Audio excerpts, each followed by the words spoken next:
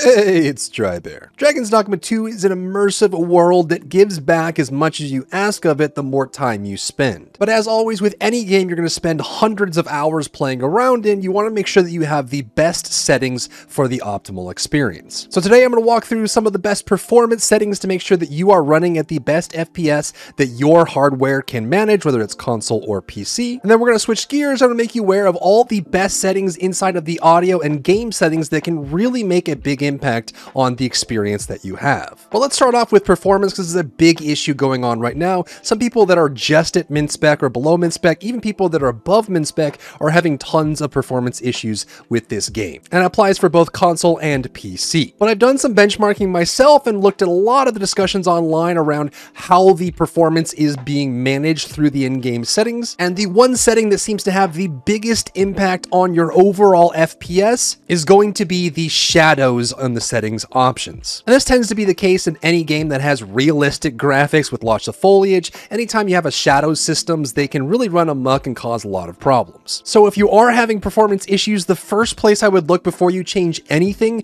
is go to the shadow quality and shadow cache and move these down to medium or low and see how that impacts your overall FPS. Because for some people, that setting by itself is enough to fix their issues if they are above the minimum spec. Now, if you have a decent machine and you're above the min spec, you'll want to play with VSync turned on, dynamic resolution turned on, and the DLSS implementation in this game is actually quite good, and so most of the settings you'll have for DLSS with DLSS on is going to be pretty effective. If you're only having minor to moderate issues, you can play with quality or balance, but if you're having more FPS issues, you can switch to performance, and some people even said that the auto setting on DLSS gives better FPS than the rest. However, if you are playing on a weaker machine or you're, you're near min spec or having tons of issues, I would recommend capping the texture cap at maximum 2 gigabytes, turn off dynamic resolution, turn off VSync, and set shadows to the lowest possible. And if you are playing on PC, there's also all the third-party options you have for improving game performance, like the Windows built-in game mode if you are on Windows, running the game in a smaller resolution and then scaling it to full screen with a borderless window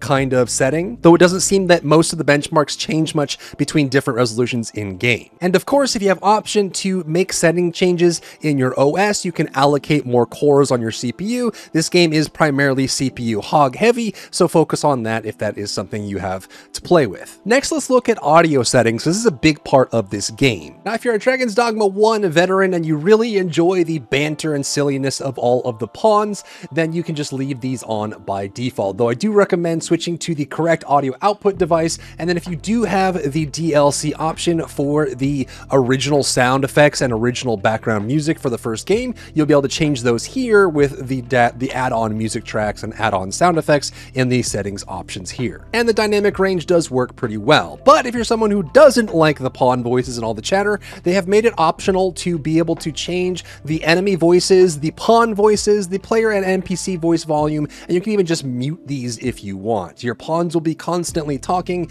and interacting with you and interacting with each other and creating this kind of vibe. But if you don't really want that kind of, you know, yapping going on, if you can't handle the yapping, you can just change that. And same thing goes for the enemy voices as well, especially bandits or humanoid enemies. They will talk quite a lot and will be a lot of banter going on between them and you on top of it. Next on to game settings. I, I personally like this a lot, minimap rotation. I get really confused when minimap rotation is toggled on. And what this does is the minimap is, is fixed to your character's facing location. So as you turn your character, the minimap will rotate with you so that your arrow is always pointing in the direction you're going uh, rather than being more of a fixed rotation. This drives me nuts because I actually just get completely spun around. It's just a preference thing. I like having this off, which means that the mini map will be fixed north, south, east, west. It won't move. And the icon, the arrow for my character will move instead, which is a lot easier for me to find my orientation as I'm moving around. Next is auto sheath. What this does is that when you're pulling your weapon out, which you can do with L1,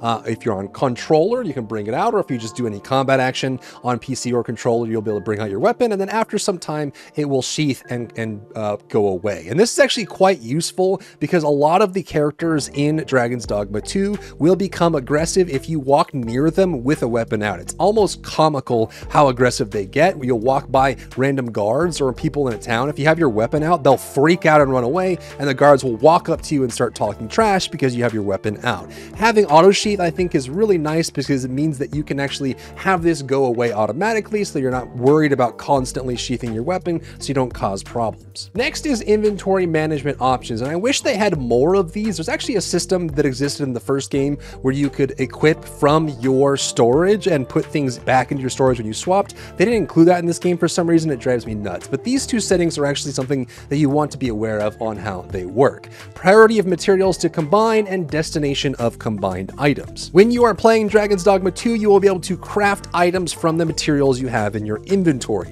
When you bring up the craft screen, the game will always try to pull materials from your entire party when it can, so that you don't have to worry about crafting with the right person, the right pawn, or the Arisen targeted to get the, the uh, final crafted material that you're looking for. So what you can do is you can change this setting to be either the player or the pawn on who it prioritizes to pull materials from first. Personally, I like having this on player because it like lighting, I like reducing my load when I craft, so it tries to take from my inventory instead of the pawn inventory, which I know I have kept separate, but some people like having it where they, they pull from their pawns first so that they can lighten their pawns, or they don't have to worry about their inventory changing as much. Destination of combined items is another personal preference, and you have two major options here. First is that when you combine an item and craft something new, by default, it will go into your inventory. So even if you have this set to pawn, it'll pull the materials from your pawn's inventory, but the final crafted item, like a potion, will end up in your inventory. And I actually prefer this because I, what I, the way I played the first game is I would go to the inn, dump everything that I have on me, can combine from the inn and put all the items in my inventory that are final combined items. You know, arrows, consumables, potions, elixirs, the things that I actually use in combat, I put them all into my inventory and I put everything else in the pawn inventory or in the storage. But you can actually set it so that when you combine an item, it goes to storage instead of your inventory, which can be useful for crafting things and putting them away and not worrying about holding on to so many things and managing your inventory. The only downside here is that if you have the materials to craft something that you need right now, it's going to go to item storage instead of your inventory, which means you won't be able to use it right away. So if you use this option, it can be nice for space saving, but you will have to be aware that if you need to craft something on the spot for immediate use, you won't be able to have access to it. Next is the interface settings, and there's a ton of these in here that are super nice that you can customize to your own preference. You can actually disable the whole HUD if you want. You can make the HUD uh, toggle in and out based on whether it's available. So if the mini map is available because you're in an area where the HUD is on, it'll turn on auto. Having some of these things turn off can be useful, like the dialogue options from enemies or the dialogue options from pawns when they talk. I think they did a great job of making this fit in the world, so I leave this on. But you can also separately customize all of the pop-up text that you get, the lower thirds and side text when a quest progress updates in the top left corner. When you go into the middle, you get the lower third or like the, the banner message in the middle of the screen that shows the location you go in. And then obviously when you loot things and they drop or you get XP, all of those are really nice, but you can turn those off if you want so that never shows up and never blocks your screen. If you really wanted to, you could turn off the reticle for both normal aiming and magic aiming with any incanted spells or magic archer uh, archer spells that come out that show you what the target is going to be hit if you ever wanted to play with that off. Under controls, there's a couple things to look at here that are super useful, and that's going to be run type and toggle hail. So these ones, are, I mean, obviously you can change your controls if you want, but these are the two that I would consider looking at. The run type is whether you want to hold to sprint or whether you want to toggle sprint. And the way they did it in this game is actually quite interesting. You have two different ways to sprint. At least on controller, you can push in your left analog and it'll start the sprint, and that is a toggle. And then you can also press the circle or B button